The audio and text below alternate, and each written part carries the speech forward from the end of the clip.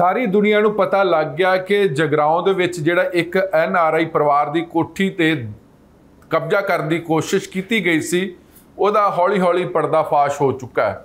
ਉਹ ਰਜਿਸਟਰੀ ਵੀ ਜਾਲੀ ਨਿਕਲੀ, ਵੇਚਣ ਵਾਲਾ ਬੰਦਾ ਫਰਾਰ ਆ, ਪਰਚਾ ਉਹਦੇ ਖਿਲਾਫ ਦਰਜ ਹੋ ਚੁੱਕਾ, ਲੇਕਿਨ ਜਗਰਾਉਂ ਪੁਲਿਸ ਨੇ ਹਲੇ ਤੱਕ ਗ੍ਰਿਫਤਾਰ ਨਹੀਂ ਕੀਤਾ। ਦੂਜੇ ਪਾਸੇ ਸਰਬਜੀਤ ਕੌਰ ਮਾਨੂਕੇ, ਜਿਹੜੇ ਜਗਰਾਉਂ ਤੋਂ ਵਿਧਾਇਕ ਨੇ, ਉਹਨਾਂ ਨੇ ਉਹ ਕੋਠੀ ਦੀਆਂ ਚਾਬੀਆਂ ਉਸ ਬੰਦੇ ਨੂੰ ਦੇ ਦਿੱਤੀਆਂ ਨੇ, ਜਿਸ ਬੰਦੇ ਦੇ ਨਾਲ ਠੱਗੀ ਵੱਜ ਗਈ। ਹਾਲਾਂਕਿ ਜਿਹੜੀ ਕੋਠੀ ਅਸਲ ਮਾਲਕ ਐਨ ਆਰ ਆਈ ਪਰਿਵਾਰ ਆ, ਬੀਬੀ ਅਮਰਜੀਤ ਕੌਰ ਹੋ। ਉਹਨਾਂ ਦੇ ਨਾਮ ਤੇ ਕੋਠੀ ਆ, ਲੇਕਿਨ ਠੱਗੀ ਵੱਜੀ ਹੈ। ਲੇਕਿਨ ਜਿਹੜੇ ਜਾਲੀ ਕਾਗਜ਼, ਜਿਹੜੀ ਪਾਵਰ ਆਫ ਟਾਰਨੀ ਜਾਲੀ ਨਿਕਲੀ ਤੇ ਜਿਹੜਾ ਕਰਮ ਸਿੰਘ ਸਿੱਧੂ ਆ, ਜਿਹਨੇ ਕੋਠੀ ਖਰੀਦੀ ਤੇ ਜਿਹਨੇ ਬੀਬੀ ਮਾਨੂ ਕੇ ਨੂੰ ਕੋਠੀ ਕਿਰਾਏ ਤੇ ਦਿੱਤੀ ਸੀ 25000 ਰੁਪਏ ਦੀ। ਉਹਨਾਂ ਕੋਠੀ 13 ਲੱਖ 60000 ਰੁਪਏ ਦੀ ਲਈ ਸੀ। ਲੇਕਿਨ ਜਦੋਂ ਨੇ ਐਫ ਆਈ ਆਰ ਕਰਵਾਈ ਗਈ, ਕਾਲੀ ਚ ਐਫ ਆਈ ਆਰ ਲਿਖੀ ਗਈ ਉਹਦੇ ਚ 13 ਲੱਖ 6000 ਰੁਪਏ ਦੀ ਕੋਠੀ ਪਾਈ ਗਈ। ਲੇਕਿਨ ਕਾਗਜ਼ ਕਾਲੀ ਜਾਲੀ ਸੀ, ਫਰਜ਼ੀ ਸੀ ਔਰ ਜਿਹੜੇ ਦਸਤਾਵੇਜ਼ ਤਿਆਰ ਕੀਤੇ ਗਏ ਸੀ, ਸ਼ੋਕ ਕੁਮਾਰ ਹੋਣੀ, ਜਿਨ੍ਹਾਂ ਤੇ ਪਰਚਾ ਦਰਜ ਹੋ ਗਿਆ, ਪੀੜਤ ਬਣਾਇਆ ਗਿਆ ਕਰਮ ਸਿੰਘ, ਜਦ ਕਿ ਪੀੜਤ ਸਾਰੀ ਦੁਨੀਆ ਨੂੰ ਪਤਾ ਕਿ ਐਨ ਆਰ ਆਈ ਪਰਿਵਾਰ ਸੀ। ਲੇਕਿਨ ਜਿਹੜੇ ਜਾਲੀ ਕਾਗਜ਼ ਜਾਲੀ ਦਸਤਾਵੇਜ਼ ਪਾਵਰ ਆਫ ਟਾਰਨੀ ਜਾਲੀ ਸੀ, ਉਸ ਪਾਵਰ ਆਫ ਟਾਰਨੀ ਤੇ ਤਹਿਸੀਲਦਾਰ ਜਿਹੜੇ ਸਿੱਧਵਾਂ ਬੇੜ ਦੇ, ਉਹਨੇ ਆ ਕੇ ਰਜਿਸਟਰੀ ਕੀਤੀ। ਜਦ ਕਿ ਜਗਰਾਉਂ ਦੇ ਵਿੱਚ ਦੋ ਤਹਿਸੀਲਦਾਰ ਬੈਠਦੇ ਸੀ, ਇੱਕ ਤਹਿਸੀਲਦਾਰ, ਇੱਕ ਨਾਇਬ ਤਹਿਸੀਲਦਾਰ। ਦੋਨੇ ਛੁੱਟੀ ਤੇ ਚਲੇ ਗਏ। ਛੁੱਟੀ ਤੇ ਕਿਉਂ ਜਾਂਦੇ ਨੇ? ਸਾਰੀ ਦੁਨੀਆ ਨੂੰ ਪਤਾ ਹੈਗਾ ਕਿ ਜਿਹੜਾ ਬੰਦਾ ਦੋ ਨੰਬਰ 'ਚ ਕੰਮ ਨਹੀਂ ਕਰਨਾ ਚਾਹੁੰਦਾ ਦਾ ਸਰਕਾਰ ਦੇ ਕਹਿਣ ਤੇ ਜਾਂ ਰਸੂਖ ਦਾ ਲੋਕਾਂ ਦੇ ਕਹਿਣ ਤੇ ਉਹਨੂੰ ਫਿਰ ਛੁੱਟੀ ਭੇਜਿਆ ਜਾਂਦਾ ਜਾਂ ਖੁਦ ਹੀ ਬੰਦਾ ਬਿਮਾਰ ਪੈ ਹੋ ਜਾਂਦਾ ਜਾਂ ਕਿਸੇ ਨੂੰ ਐਮਰਜੈਂਸੀ ਪੈ ਜਾਂਦੀ ਹੈ। ਜਗਰਾਉਂ ਤੋਂ ਜਿਹੜੇ ਦੋ ਤਹਿਸੀਲਦਾਰ ਤੇ ਨਾਇਬ ਤਹਿਸੀਲਦਾਰ, ਉਹਨਾਂ ਨੇ ਰਜਿਸਟਰੀ ਨਹੀਂ ਕੀਤੀ, ਲੇਕਿਨ ਜਿਸ ਨੇ ਰਜਿਸਟਰੀ ਕੀਤੀ ਉਹਦਾ ਨਾਮ ਹੈ ਤਹਿਸੀਲਦਾਰ ਮਲੂਕ ਸਿੰਘ। ਤੇ ਤਹਿਸੀਲਦਾਰ ਮਲੂਕ ਸਿੰਘ ਕਿੱਥੇ ਬੈਠਦੇ ਸੀ? ਸਿੱਧਵਾਂ ਬੇਟ ਵਿਖੇ, ਉੱਥੇ ਉਹਨਾਂ ਦਾ ਦਫ਼ਤਰੀ ਤਹਿਸੀਲ ਦੇ ਵਿੱਚ। ਹੁਣ ਜਿਹੜੀ ਪੰਜਾਬ ਵਿਜੀਲੈਂਸ ਬਿਊਰੋ ਵੱਲੋਂ ਚਿੱਠੀ ਕੱਢੀ ਗਈ ਹੈ ਕਿ ਜਿਹੜੇ ਕਰਪਟ ਤਹਿਸੀਲਦਾਰ, ਨਾਇਬ ਤਹਿਸੀਲਦਾਰ, ਉਹਦੀ ਪ੍ਰਵਾਨਗੀ ਮਿਲ ਗਈ ਹੈ ਪੰਜਾਬ ਸਰਕਾਰ ਵੱਲੋਂ ਕਿ ਇਹਨਾਂ ਦੇ ਖਿਲਾਫ ਕਾਰਵਾਈ ਕੀਤੀ ਜਾਵੇ। ਤੇ ਜਿਹੜੇ 48 ਤਹਿਸੀਲਦਾਰ ਤੇ ਨਾਇਬ ਤਹਿਸੀਲਦਾਰਾਂ ਦੀ ਸੂਚੀ ਆਈ ਆ ਉਹਦੇ 'ਚ ਮਲੂਕ ਸਿੰਘ ਦਾ ਵੀ ਨਾਮ ਆ। ਹੁਣ ਜਿਹੜੀ ਜਦੋਂ ਅੱਜ ਲਿਸਟ ਜਿਹੜੀ ਵਾਇਰਲ ਹੋਈ ਆ, ਜਿਹੜੀ ਪੰਜਾਬ ਵਿਜੀਲੈਂਸ ਬਿਊਰੋ ਨੇ ਸਰਕਾਰ ਨੂੰ ਭੇਜੀ, ਸਰਕਾਰ ਨੇ ਪ੍ਰਵਾਨਗੀ ਦਿੱਤੀ, ਉਹ ਸੂਚੀ ਜਿਹੜੀ ਲਿਸਟ ਆ, ਉਹ ਜਾਰੀ ਹੋ ਗਈ ਕਿ ਜਿਹੜੇ ਕਰਪਟ ਤਹਿਸੀਲਦਾਰ, ਨਾਇਬ ਤਹਿਸੀਲਦਾਰ ਜਿਹੜੇ ਗਲਤ ਕੰਮ ਕਰਦੇ ਸੀ, ਪੈਸੇ ਲੈ ਕੇ ਰਜਿਸਟਰੀਆਂ ਕਰਦੇ ਸੀ, ਪੈਸੇ ਲੈ ਕੇ ਐਨਓਸੀ ਜਾਰੀ ਕਰਦੇ, ਇਹਨਾਂ ਸੂਚੀ ਦੇ ਵਿੱਚ ਤਹਿਸੀਲਦਾਰ ਮਲੂਕ ਸਿੰਘ ਦਾ ਵੀ ਹੈ ਤੇ ਮਲੂਕ ਸਿੰਘ ਉਹੋ ਹੀ ਆ ਜਿਸ ਨੇ ਜਗਰਾਉਂ ਕੋਠੀ ਦੀ ਜਾਲੀ ਰਜਿਸਟਰੀ ਬਣਾਈ ਆ। ਹੁਣ ਤੁਸੀਂ ਆਪ ਅੰਦਾਜ਼ਾ ਲਗਾ ਸਕਦੇ ਹੋ ਕਿ ਮਲੂਕ ਸਿੰਘ ਵਰਗੇ ਜਿਹੜੇ ਲੋਕ ਨੇ, ਜਿਨ੍ਹਾਂ ਦਾ ਇੱਕ ਵਾਇਰਲ ਸੂਚੀ ਦੇ ਵਿੱਚ ਨਾਮ ਆ ਗਿਆ ਕਿ ਜਿਹੜੇ ਕਰਪਟ ਆਫੀਸਰ ਨੇ, ਤਹਿਸੀਲਦਾਰ, ਉਹਨਾਂ ਵਿੱਚੋਂ ਮਲੂਕ ਸਿੰਘ ਵੀ ਇੱਕ ਆ, ਜਿਹੜੀ ਪੰਜਾਬ ਵਿਜੀਲੈਂਸ ਬਿਊਰੋ ਦੀ ਜਿਹੜੀ ਚਿੱਠੀ ਵਾਇਰਲ ਹੋ ਰਹੀ ਆ। ਤੇ ਉਸ ਚਿੱਠੀ ਤੋਂ ਬਾਅਦ ਜਿਹੜੀ ਇਹ ਸੂਚੀ ਦੇ ਵਿੱਚ ਨਾਮ ਆਇਆ, ਲੁਧਿਆਣਾ ਜ਼ਿਲ੍ਹਾ ਦੇ 6 ਜਿਹੜੇ ਅਧਿਕਾਰੀ ਦੱਸੇ ਗਏ ਨੇ। ਤੇ ਪੰਜਵੇਂ ਨੰਬਰ ਤੇ ਲੁਧਿਆਣਾ ਜ਼ਿਲ੍ਹੇ ਦੇ ਵਿੱਚ ਲਿਖਿਆ, ਮਲੂਕ ਸਿੰਘ, ਤਹਿਸੀਲਦਾਰ ਸਿਧਵਾ ਬੇਟ ਔਰ ਇਹਨਾਂ ਦੇ ਨਾਲ, ਜਿਨ੍ਹਾਂ ਦੇ ਨਾਲ ਇਹਨਾਂ ਦੀ ਸਾਂਝ ਸੀ, ਵਸੀਕਾ ਨਵੀਸ, ਸਿਕੰਦਰ ਸਿੰਘ ਭੁੰਦੜੀ, ਸਾਇਲ ਅਗਰਵਾਲ, ਰਜਿਸਟਰੀ ਕਲਰਕ ਔਰ ਵਸੀਕਾ ਨਸਵੀ, ਨਵੀਸ ਸਿਕੰਦਰ ਸਿੰਘ ਭੂਦੜੀ। ਇਹ ਇਹਨਾਂ ਦੇ ਜ਼ਰੀਏ ਸਾਰੀ ਉੱਥੇ ਠੱਗੀ ਠੋਰੀ ਚੱਲਦੀ ਸੀ ਔਰ ਇਹਦੀ ਹੁਣ ਜਿਹੜੀ ਨਾਮ ਸਾਹਮਣੇ ਆਇਆ ਕਿ ਆਖਰ ਜਿਹੜਾ ਮਲੂਕ ਸਿੰਘ ਆ ਜਿਨੇ ਆ ਕੇ ਜਗਰਾਉਂ ਆ ਕੇ ਸਪੈਸ਼ਲ ਆ ਕੇ, ਜਾਂ ਖੁਦ ਸਪੈਸ਼ਲ ਆਏ ਨੇ ਖੁਦ ਸਪੈਸ਼ਲ ਕੋਈ ਜਾ ਨਹੀਂ ਸਕਦਾ। ਲਾਜ਼ਮੀ ਤੌਰ ਤੇ ਸਰਕਾਰੀ ਦਰਬਾਰੇ ਰਸੂਖ ਰੱਖਣ ਵਾਲੇ ਲੋਕਾਂ ਨੇ ਕਿਹਾ ਹੋਣਾ ਕਿ ਜਾ ਕੇ ਕਰੋ, ਰਜਿਸਟਰੀ ਕਰਨੀ ਆ। ਜਿਹੜੇ ਜਗਰਾਉਂ ਦੇ ਵਿੱਚ ਤਹਿਸੀਲਦਾਰ, ਨਾਇਬ ਤਹਿਸੀਲਦਾਰ, ਉਹ ਪਹਿਲਾਂ ਹੀ ਛੁੱਟੀ ਤੇ ਚਲ ਗਏ। ਔਰ ਫਿਰ ਹਨੇਰਗਰਦੀ ਦੇਖੋ, ਕੋਠੀ ਜਗਰਾਉਂ ਦੀ ਸੀ। ਜਾਲੀ ਮੁਖਤਾਰਨਾਮੇ ਨਾਲ ਰਜਿਸਟਰੀ ਕਰਨ ਵਾਲੇ ਦਿਨ ਜਿਹੜੇ ਜਗਰਾਉਂ ਦੇ ਤਹਿਸੀਲਦਾਰ ਤੇ ਨਾਇਬ ਤਹਿਸੀਲਦਾਰ, ਉਹ ਦੋਨੇ ਛੁੱਟੀ ਤੇ। ਤੇ ਫਿਰ ਸਿੱਧਵਾਂ ਬੇੜ ਦਾ ਤਹਿਸੀਲ ਦਾ ਤਹਿਸੀਲਦਾਰ ਮਲੂਕ ਸਿੰਘ ਜਗਰਾਉਂ ਸਪੈਸ਼ਲ ਆ ਕੇ ਰਜਿਸਟਰੀ ਕਰਦਾ। ਤੇ ਸਰਕਾਰ ਨੂੰ ਵੱਡਾ ਸਵਾਲ ਸੀ, ਪੰਜਾਬ ਦੀ ਜਨਤਾ ਨੇ ਪੁੱਛਿਆ ਕਿ 20 ਦਿਨਾਂ ਦੇ ਵਿੱਚ ਇਸ ਲਿਸਟ ਤੇ ਕਾਰਵਾਈ ਕਿਉਂ ਨਹੀਂ ਹੋਈ? ਦੂਜਾ, ਐਨ ਆਰ ਆਈ ਕੋਠੀ ਦੇ ਮਸਲੇ ਦੇ ਵਿੱਚ ਜਾਲੀ ਕਾਗਜ਼ ਨਾਲ ਰਜਿਸਟਰੀ ਕਰਨ ਵਾਲੇ ਮਲੂਕ ਸਿੰਘ ਤੇ ਵੀ ਕਿਉਂ ਨਹੀਂ ਪਰਚਾ ਦਰਜ ਹੋਇਆ? ਇਹ ਸਭ ਤੋਂ ਵੱਡਾ ਮਸਲਾ। ਹੁਣ ਇੱਕ ਹੋਰ ਮਸਲਾ ਉੱਠਿਆ ਕਿ ਜਗਰਾਉਂ ਕੋਠੀ ਮਸਲੇ ਦੇ ਵਿੱਚ ਜਿੱਥੇ ਐਮਐਲਏ ਸਰਬਜੀਤ ਕੌਰ ਮਾਨੂਕੇ ਨੇ 25000 ਰੁਪਏ ਦੀ ਕੋਠੀ ਚਾ ਕੇ ਕਿਰਾਏ ਤੇ ਰਹੀ ਆ, ਉੱਥੇ ਜਿਹੜੀ ਜਿਹੜੀ ਸੜਕ ਬਣਾਈ ਗਈ ਆ ਘਰ ਦੇ ਅਗਲੇ ਪਿਛਲ ਪਾਸੇ, ਦੋਨੇ ਪਾਸੇ, ਕਿਉਂਕਿ 25 ਮਰਲੇ ਦੇ ਵਿੱਚ ਜਗ੍ਹਾ ਹੈ ਪੂਰਾ ਰਕਬਾ 8 ਮਰਲੇ ਚ ਕੋਠੀ ਆ ਬਾਕੀ 17 ਮਰਲੇ ਵਿਹਲੀ ਜਗ੍ਹਾ। ਉਹ ਦੋਨੇ ਪਾਸੇ ਫਰੰਟ ਸਾਈਡ ਤੇ ਵੀ, ਬੈਕ ਸਾਈਡ ਤੇ ਵੀ ਕੋਠੀ ਨੂੰ ਸੜਕਾਂ ਲੱਗਦੀਆਂ।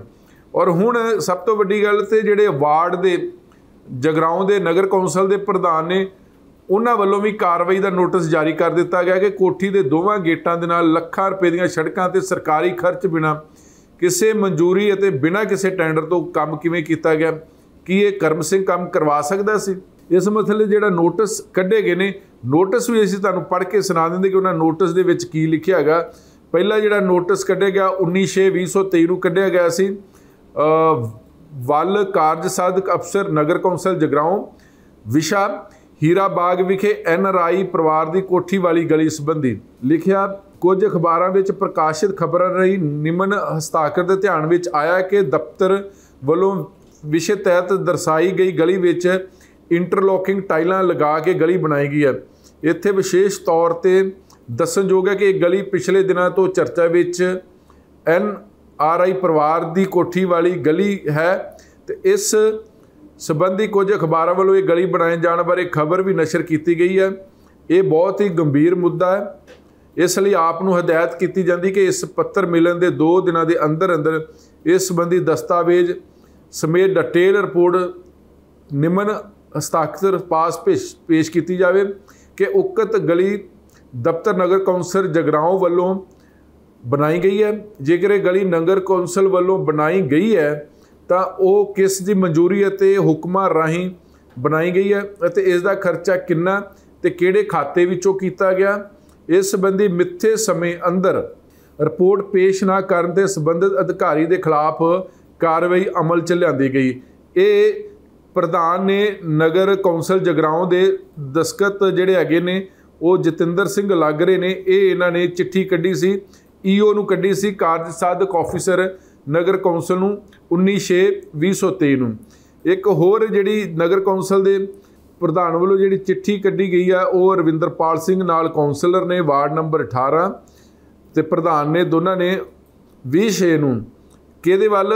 ਕਾਰਜ ਸਾਧਕ ਅਫਸਰ ਨਗਰ ਕੌਂਸਲ ਜਗਰਾਉਂ, ਵਿਸ਼ਾ ਨਗਰ ਕੌਂਸਲ ਦੇ ਓਵਰਸੀਜ਼ ਸ਼੍ਰੀ ਅਸ਼ੋਕ ਕੁਮਾਰ ਵੱਲੋਂ ਸ਼ਹਿਰ ਜਗਰਾਉਂ ਵਿਖੇ ਸਿਆਸੀ ਆਗੂਆਂ ਨਾਲ ਮਿਲੀ ਭੁਗਤ ਕਰਕੇ ਅਨ ਅਧਿਕਾਰਤ ਕਲੋਨੀਆਂ ਵਿੱਚ ਕੰਮ ਕਰਵਾ ਕੇ ਸਰਕਾਰਾਂ ਦੇ ਅੱਖਾਂ ਵਿੱਚ ਘੱਟਾ ਪਾਉਣ ਸੰਬੰਧੀ।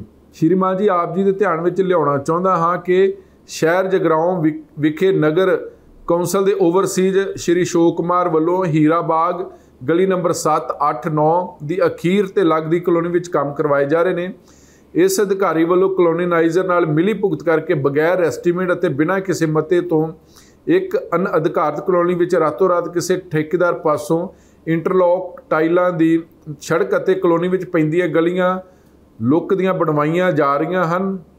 ਹੈਰਾਨੀ ਵਾਲੀ ਗੱਲ ਹੈ ਕਿ ਲੱਖਾਂ ਰੁਪਏ ਦੀ ਲਾਗਤ ਨਾਲ ਬਣੀਆਂ ਇਹਨਾਂ ਸੜਕਾਂ, ਰਕਮ ਕਿਸ ਖਾਤੇ ਵਿੱਚੋਂ ਖਰਚ ਕੀਤੀ ਗਈ ਹੈ? ਇਸ ਘਟਾਲੇ ਤੋਂ ਸਾਬਤ ਹੁੰਦਾ ਹੈ ਕਿ ਓਵਰਸੀ ਸ਼੍ਰੀ ਸ਼ੋਕ ਕੁਮਾਰ ਵੱਲੋਂ ਮਿਊਨਿਸਪਲ ਐਕਟ ਅਨੁਸਾਰ ਮਿਲੇ ਆਪਣੇ ਅਧਿਕਾਰਾਂ ਦੀ ਘੋਰ ਦੁਰਵਰਤੋਂ ਕੀਤੀ ਗਈ ਹੈ।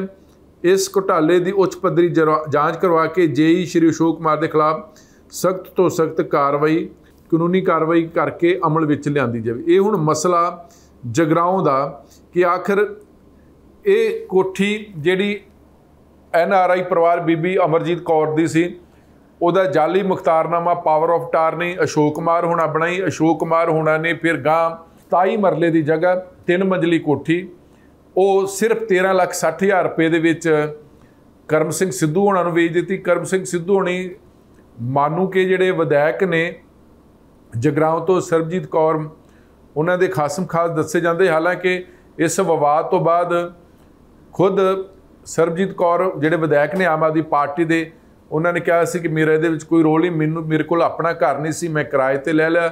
ਇਹ ਰਫੜ ਉਹਨਾਂ ਦਾ, ਮੇਰਾ ਕੋਈ ਲੈਣਾ ਦੇਣਾ ਨਹੀਂ। ਜਦੋਂ ਮਸਲਾ ਜ਼ਿਆਦਾ ਉੱਠਿਆ, ਉਹਨਾਂ ਦੋਸ਼ਾਂ ਦਾ ਖੰਡਨ ਕੀਤਾ, ਉਹਨਾਂ ਕਿਹਾ ਕਿ ਮੈਂ ਚਾਬੀਆਂ ਕਰਮ ਸਿੰਘ ਸਿੱਧੂ ਹੋਣਾ ਨੂੰ ਦੇ ਦਿੱਤੀਆਂ। ਜਦੋਂ ਫਿਰ ਮੁੱਦਾ ਭਖਿਆ ਕਿ ਜਾਲੀ ਦਸਤਾਵੇਜ਼ ਤੇ ਕੋਠੀ ਤਿਆਰ ਹੋਈ ਆ ਜਾਲੀ ਦਸਤਾਵੇਜ਼ ਤੇ ਰਜਿਸਟਰੀ ਹੋਈ ਆ, ਰਜਿਸਟਰੀ ਮਲੂਕ ਸਿੰਘ ਤਹਿਸੀਲਦਾਰ ਹੋਣਾ ਕੀਤੀ, ਸਿੱਧਵਾ ਬੇੜ ਤੋਂ ਆ ਕੇ ਜਗਰਾਉਂ ਦੇ ਤਹਿਸੀਲਦਾਰ ਨਾਇਬ ਤਹਿਸੀਲਦਾਰ ਛੁੱਟੀ ਤੇ ਉਹ ਨਹੀਂ ਮੰਨੇ ਹੋਣੇ ਜਾਲੀ ਦਸਤਾਵੇਜ਼ ਨੂੰ ਵੇਖ ਕੇ ਤੇ ਉਹ ਮਲੂਕ ਸਿੰਘ ਹੋਣਾ ਰਜਿਸਟਰੀ ਕਰਤੀ। ਹੁਣ ਮਲੂਕ ਸਿੰਘ ਹੋਣਾ ਦਾ ਜਿਹੜੇ ਅੱਜ ਪੰਜਾਬ ਵਿਜੀਲੈਂਸ ਬਿਊਰੋ ਦੀ ਇੱਕ ਚਿੱਠੀ ਵਾਇਰਲ ਹੋ ਰਹੀ ਆ, ਉਹਦੇ ਚ ਉਹਦਾ ਵੀ ਨਾਮ ਆ। ਤੇ ਫਿਰ ਸਚਾਈ ਸਾਬਤ ਹੋ ਚੁੱਕੀ ਆ ਇਸ ਖੇਡ ਦੇ ਪਿੱਛੇ ਬੇਈਮਾਨ ਅਫਸਰਾਂ ਦਾ ਵੀ ਹੱਥ ਸੀ, ਬੇਈਮਾਨ ਲੋਕਾਂ ਦਾ ਵੀ ਹੱਥ ਸੀ ਤੇ ਕਿਉਂ ਨਹੀਂ ਪੰਜਾਬ ਸਰਕਾਰ ਇਸ ਤੇ ਹੁਕਮ ਜਾਰੀ ਕਰਕੇ ਕਸੂਰਵਾਰ ਲੋਕਾਂ ਦੇ ਖਿਲਾਫ ਪਰਚਾ ਦਰਜ ਕਰੇ, ਚਾਹੇ ਉਹ ਤਹਿਸੀਲਦਾਰ ਆ। ਦੂਜਾ, ਤੇ ਸਰਕਾਰ ਅੱਜ ਵੀ ਕਿਉਂ ਨਹੀਂ, ਜਿਹੜੀ ਪੀੜਤ ਪਰਿਵਾਰ ਹੈ ਐਨਆਰਆਈ ਪਰਿਵਾਰ ਨੇ, ਅਮਰਜੀਤ ਕੌਰ ਹੋਣੀ, ਉਹਨਾਂ ਦੀ ਜਿਹੜੀ ਨੌ ਕੁਲਦੀਪ ਕੌਰ ਢਾਲੀਵਾਲ ਉਹਨਾਂ ਨੂੰ ਕਿਉਂ ਨਹੀਂ ਚਾਬੀਆਂ ਫੜਾ ਦਿੰਦੀ ਸਰਕਾਰ? ਇਸ ਮਸਲੇ 'ਚ ਹੁਣ ਜੇ ਤਹਿਸੀਲਦਾਰ ਮਲੂਕ ਸਿੰਘ ਬਾਰੇ ਪੰਜਾਬ ਵਿਜੀਲ- ਵਿਜੀਲੈਂਸ ਸਰਕਾਰ ਨੂੰ ਲਿਖ ਰਹੀ ਆ ਕਿ 48 ਜਿਹੜੇ ਤਹਿਸੀਲਦਾਰ ਤੇ ਨਾਇਬ ਤਹਿਸੀਲਦਾਰ ਕਰਪਟ ਨੇ ਤੇ ਫਿਰ ਮੰਨਿਆ ਜਾ ਸਕਦਾ ਕਿ ਇਹ ਜਿਹੜੀ ਕੋਠੀ ਵੀ ਜਾਲੀ ਰਜਿਸਟਰੀ ਤੇ ਹੋਈ ਸੀ, ਇਹ ਜਾਲੀ ਰਜਿਸਟਰੀ ਤਹਿਸੀਲਦਾਰ ਨੇ ਕੀਤੀ ਸੀ ਔਰ ਹੁਣ ਸਚਾਈ ਸਾਬਤ ਹੋ ਚੁੱਕੀ ਹੈ ਕਿ ਕਿਵੇਂ ਮਾਲ ਵਿਭਾਗ ਦੇ ਵਿੱਚ ਕਰਪਟ ਲੋਕ ਬੈਠੇ ਨੇ, ਉਹਨਾਂ ਵਿੱਚੋਂ ਇੱਕ ਇਹ ਸੀ ਜਿਨੇ ਰਜਿਸਟਰੀ ਕੀਤੀ ਹੈਗੀ ਆ ਤੇ ਬੀਬੀ ਜਿਹੜੇ ਸਰਬਜੀਤ ਕੌਰ ਨੇ ਵਿਧਾਇਕ ਚਾਹੇ ਉਹ ਇਸ ਮਸਲੇ 'ਚ ਉਹਨਾਂ ਨੇ ਆਪਣੇ ਆਪ ਨੂੰ ਫਾਰਗ ਕਰ ਲਿਆ, ਸਪਸ਼ਟੀਕਰਨ ਦੇ ਚੁੱਕੇ ਨੇ, ਲੇਕਿਨ ਅੱਜ ਵੀ ਅਗਰ ਉਹ ਚਾਹੁੰਦੇ ਨੇ ਕਿ ਉਹਨਾਂ ਤੇ ਕੋਈ ਇਲਜ਼ਾਮ ਹੋਰ ਨਾ ਲੱਗਣ, ਤੇ ਲਾਜ਼ਮੀ ਤੌਰ ਤੇ ਉਹ ਕਰਮ ਸਿੰਘ, ਕਿਉਂਕਿ ਉਹਨਾਂ ਦੇ ਖਾਸਮ ਖਾਸ ਵਿੱਚੋਂ ਕਰਮ ਸਿੰਘ ਇੱਕ ਸੀ, ਜਿਨ੍ਹਾਂ ਦੀਆਂ ਫੋਟੋਆਂ ਕਾਫੀ ਐਮਐਲਏ ਦੇ ਨਾਲ ਵਾਇਰਲ ਹੋਈਆਂ, ਤੇ ਉਹ ਕਰਮ ਸਿੰਘ ਸਿੱਧੂ ਨੂੰ ਕਹਿ ਕੇ ਜਿਹੜੀਆਂ ਚਾਪੀਆਂ ਨੇ, ਉਹ ਇਸ ਪਰਿਵਾਰ ਨੂੰ ਦਿੱਤੀਆਂ ਜਾ ਸਕਦੀਆਂ ਤੇ ਉਲਟਾ ਕਿਉਂਕਿ ਸਰਬਜੀਤ ਕੌਰ, ਮਾਨੂ ਕੇ ਜਿਹੜੇ ਵਿਧਾਇਕ ਨੇ ਉਹ ਜਿਹੜੇ ਕਰਪਟ ਅਫਸਰ ਨੇ, ਜਿਨ੍ਹਾਂ ਨੇ ਰਜਿਸਟਰੀ ਬੇਈਮਾਨੀ ਨਾਲ ਕਰਵਾਈ ਤੇ ਕੀਤੀ ਆ, ਉਹ ਖੁਦ ਵੀ ਸ਼ਿਕਾਇਤ ਕਰਵਾ ਕੇ ਤਹਿਸੀਲਦਾਰ ਦੇ ਖਿਲਾਫ ਵੀ ਮੁਕੱਦਮਾ ਦਰਜ ਕਰਵਾ ਸਕਦੇ ਨੇ। ਪਰ ਸਵਾਲ ਆ ਕਿ ਕਰਵਾਏਗਾ ਕੌਣ? ਪਰ ਕੋਠੀ ਦਾ ਜਿਹੜਾ ਰੌਲਾ, ਇਹ ਉਦੋਂ ਤੱਕ ਪੈਂਦਾ ਰਹੇਗਾ ਜਦ ਤੱਕ ਇਸ ਪੀੜਤ ਪਰਿਵਾਰ ਨੂੰ ਕੋਠੀ ਨਹੀਂ ਮਿਲਦੀ ਹੈਗੀ। ਦੇ ਦਿਆਂ ਜਿਹੜਾ ਪੀੜਤ ਅਸਲੀ ਨੇ, ਉਹਨਾਂ ਨੂੰ ਇਨਸਾਫ ਕਦੋਂ ਮਿਲੂਗਾ? ਤੇ ਜਿਹੜੇ ਕਸੂਰਵਾਰ ਲੋਕ ਨੇ, ਕਰਮ ਸਿੰਘ ਸਿੱਧੂ ਹੋ ਗਏ, ਚਾਹੇ ਅਸ਼ੋਕ ਕੁਮਾਰ ਹੋ ਗਏ ਨੇ ਚਾਹੇ ਬੀਬੀ ਜਗੀ- ਜਿਹੜੇ ਉਹ ਬੀਬੀ ਆ, ਮਾਨੂ ਕੇ ਜਿਨ੍ਹਾਂ ਦੇ ਇਲਜ਼ਾਮ ਲੱਗ ਰਹੇ ਉਹਨਾਂ ਦੇ ਘਰ ਵਾਲੇ ਤੇ ਵੀ, ਤੇ ਦੂਜਾ ਜਿਹੜਾ ਤਹਿਸੀਲਦਾਰ ਆ ਮਲੂਕ ਸਿੰਘ, ਇਹਦੇ ਖਿਲਾਫ ਕਾਰਵਾਈ ਬੰਦੀ ਕਿ ਨਹੀਂ ਬੰਦੀ ਪੰਜਾਬ ਸਰਕਾਰ ਚੰਗੀ ਤਰ੍ਹਾਂ ਜਾਣਦੀ ਹੈ। ਫਿਲਹਾਲ ਤੁਹਾਡਾ ਬਹੁਤ ਬਹੁਤ ਸ਼ੁਕਰੀਆ। ਇਸੇ ਤਰ੍ਹਾਂ ਦੇਖਦੇ ਰਹੋ ABC ਪੰਜਾਬ, ਧੰਨਵਾਦ।